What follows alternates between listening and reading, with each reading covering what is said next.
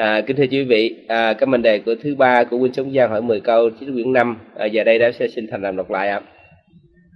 Ác thứ 10, đoạn chót Messi Nguyên tâm tối từ hồi vô thủy, màn vô minh che mờ căn trí, nên thường nghi nhận ngụy làm chân, lo quyển thân, vật chất kém hơn, chẳng tiền biết, tinh thần đạo đức.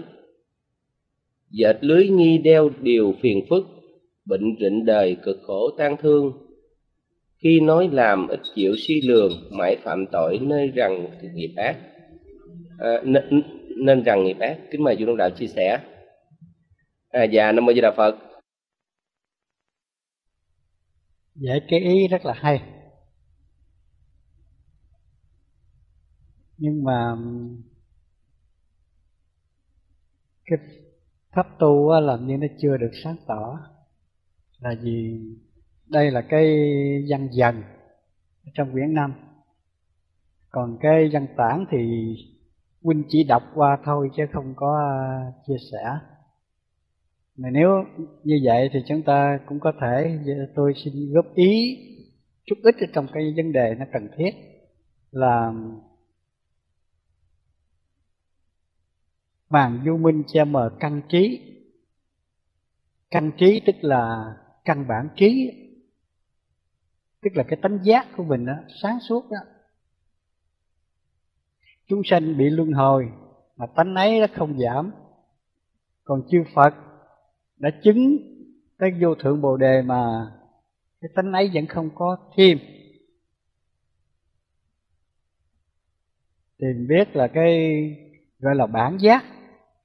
Cái tánh, cái bản giác này đó cái người chứng chứng được.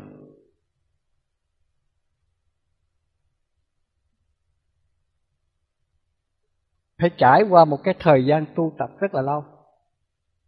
Cái tánh giác này thường thường đó người ta gọi là sanh nhi chi. Là sanh ra cái biết à không học mà không mà hiểu là vì nó sẵn. Nhưng vì bị mê, bị vô minh nó che phức cho cái tánh giác nó vẫn y như vậy à. Trong cái tánh giác nó có bốn cái nghĩa. Một là như thật. Như cái gương sáng lớn vậy đó. Lúc nào cũng trong sạch, không có một vọng trần. Đây chỉ cho cái chân tâm phật tánh là đúng. Cái thứ hai đó là nhân quân tập. Trong cái tánh giác nó có đủ giới, đủ tất cả các cái cảnh giới ở trong đó vì cái nhân quân tập cho nên nó có đủ tánh giác. Ở trong cái tánh giác nó có đủ mà tánh giác ấy nó không thêm không bớt ha chẳng dơ chẳng sạch mà trong kinh bát nhã nói đó. Vì vậy mà tánh giác là chân tâm chứ không có gì khác. Là bản giác đó. cho nên nó có đủ pháp vô lậu làm cái nhân cho chúng sanh quân tập đang thành phật chứ không có gì lạ. Thì, thì nhờ cái tánh giác đó nó có nó cũng nhờ cái quân tập đó mà mình tu tất cả các cái thiện pháp á đến cuối cùng nó sẽ thành đạo. Chẳng hạn như bây giờ bị vô minh vọng tưởng vậy tà là bất giác. Rồi cái cái bắt bây giờ mình nghe nghe đạo nghe pháp bắt đầu tu tập thì gọi là thủy giác bắt đầu giác. Rồi mỗi một cái um, cái trí tuệ nó mở ra bao nhiêu thì nó phá vô minh tới đó. Cho nên gọi là phần giác giác từng phần. Nhưng cuối cùng thì gọi là cứu cánh giác. Lúc đầy đủ gọi là cứu cánh giác. Thì cứu cánh giác và bản giác này nó ngang nhau y như vậy.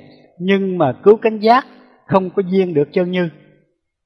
Mà chỉ có cái bản giác á, mới duyên được chân như. Như chân như tức là phật tánh á. Còn cái cái cứu cánh giác nó chỉ duyên cái báo thân và quá thân thôi. Cho nên nó không có duyên được thanh tịnh pháp thân tức là chân như đó. Rồi cái thứ ba đó là pháp xuất ly. Vì lúc nào nó cũng thanh tịnh không có hai cái món phiền não và sở chi trước xa lìa hết tất cả các cái vọng trần tức là thức a la gia bốn là cái tánh giác nó xoay khắp mười phương tùy tâm niệm của chúng sanh mà chỉ dạy cho tất cả các cái pháp tu tập. Đây nó về cái phần giác tha. Có nhờ có cái tánh giác đó vì vậy mà hôm nay màn vô minh che mờ căn trí là che phức cái, cái tánh giác này nè. Chút vậy cho nó nó ra cái cái nghĩa tánh giác chứ không có gì khác vì trong kinh lăng nghiêm đức phật nói là cái người nào nói năng suy nghĩ mà không tức là không có chắc cái nói năng về cái suy nghĩ đó thì người ấy tùy thuận tánh chân như. Còn cái người nào mà lìa tất cả vọng niệm thì cái người ấy được nhập vào chân như không có gì khác. Như, như vậy thôi.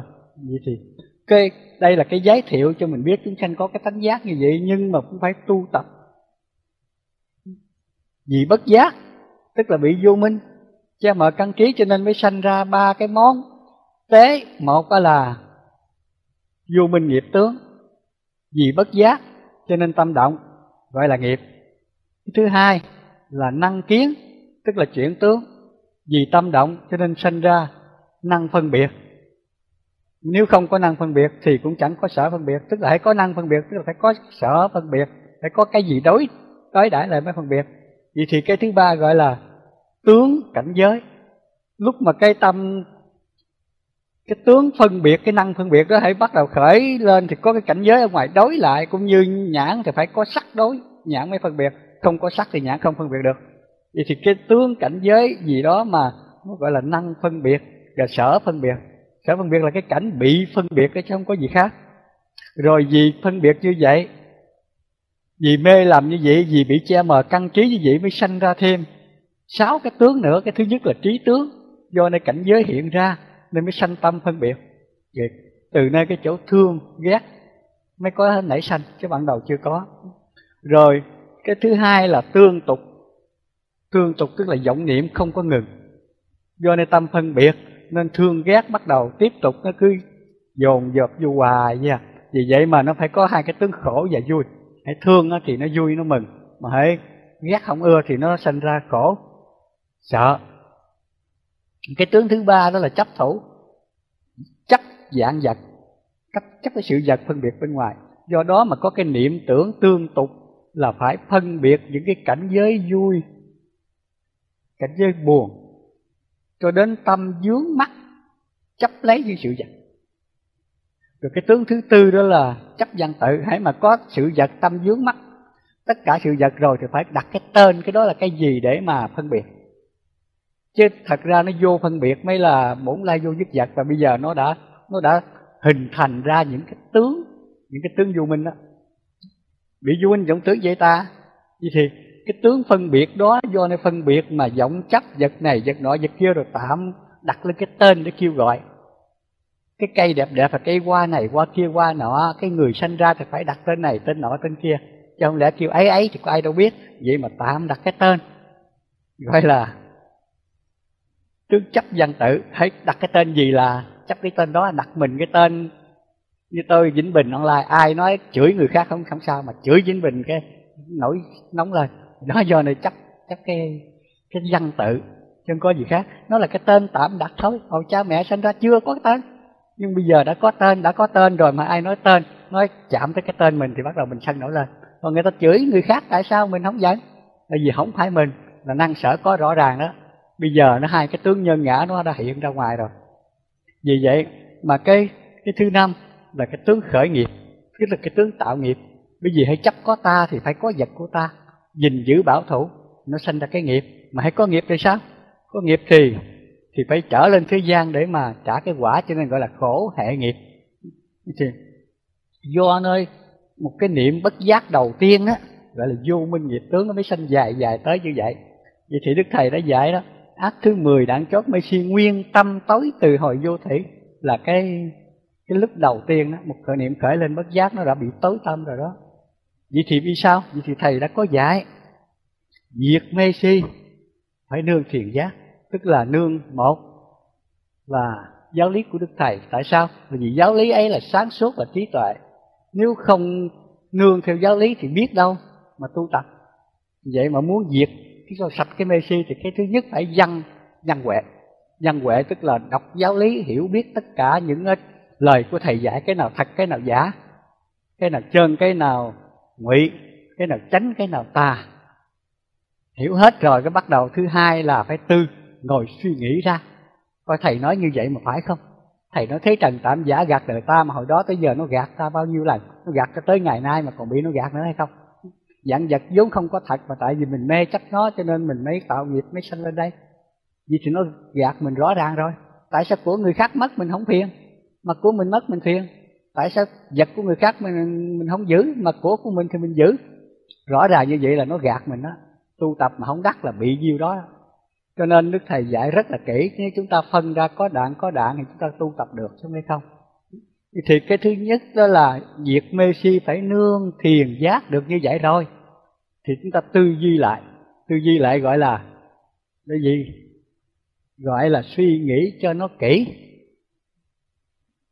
Thì cái đầu đó gọi là văn huệ, thì cái sau tư huệ đó. suy nghĩ cho kỹ chừng nào. Thấy cái bộ mặt thật tướng giả trá của nó rồi thì đó là trí huệ phát sanh. Được gọi là tư huệ, hiểu biết sáng suốt rồi đối với cảnh mà tâm không có động nữa. Chứ không có không có suy nghĩ cho kỹ đối với cảnh tâm bị động mà không có gì khác cái gì người ta học gì ạ người ta biết cái đó giả người ta không mê. Vì không mê cho nên cái đó còn thì còn mất thì mất kệ nó bổn phận mình lo mình. À, cứ việc xoay dở trong tâm. Ai ai hãy ráng xét mình nếu còn tánh xấu thì rinh ra ngoài chừng nào nó sạch hết thì đặt đạo. Đó là cái tư tư huệ. Nhưng mà còn phải tu tập thêm. Vì chưa có đủ còn phải thực hành cho đúng. Mỗi khi mà cái gì nó đến với ta đó ta sanh ra chút phiền não là ta phải diệt trừ liền ta biết liền. Tại sao vậy? Là vì nó vừa khởi tánh sân là ta biết ta tu chưa đó đúng đúng mức. Chứ không phải phật dạy không hay. Tại vì ta tu chưa tới mức thôi, ta bắt đầu ta diệt liền, ta sám hối lại. Đâu có sợ tham sân mà sợ giác ngộ chậm thôi. Hãy vừa khởi lên tham cũng vậy, chúng ta chặn ngang liền, ta giác ngộ được vậy gọi là trí huệ chứ có gì đâu. Vậy thì gọi là tu huệ đó. Khi mà tất cả các vật nó hiện nguyên cái bộ mặt giả trá của nó hồi đó, tới giờ nó gạt mình thì bây giờ bắt đầu không còn nhiễm nó nữa cũng như người biết con rắn độc thì không bao giờ bị rắn độc cắn nữa. Thì người biết danh lợi tình là giả không thật, thì danh lợi tình không trói buộc nữa thì lúc đó mình tự tại, không có gì khác. Thì gọi là văn huệ tư huệ, tu huệ thì sao? Thì chứng huệ chứ có gì đâu. Phải văn tư tu xong rồi thì chứng. Cho nên gọi là chứng huệ. Vẫn nghe càng làm ngu muội đã thân uổng kiếp. Thì bây giờ cái chương trình tu tập thì tu học cái thầy dạy, nương thiền giác chúng ta nương có ba cách. Một là văn, hai là tư, ba là tu như vậy nó mới có thứ tự để mà có cái pháp cho chúng ta tu tập. À, thôi, tôi cũng góp ý chút vậy thôi, mong rằng đồng đạo mình cũng quan hỷ. Bởi vì đây là một cái pháp rất là quan trọng ở trên cái chỗ tu tập hàng ngày của mình. Từ nơi à, thập ác rồi sang qua chuyển, qua bát chánh thì tới đi đến giải thoát. Mong rằng đồng đạo mình cũng quan hỷ. Đến đây hết, nam mô bổn sư thích ca mâu ni phật. Nam mô a di đà phật. Xin à, trả lời cho đạo biết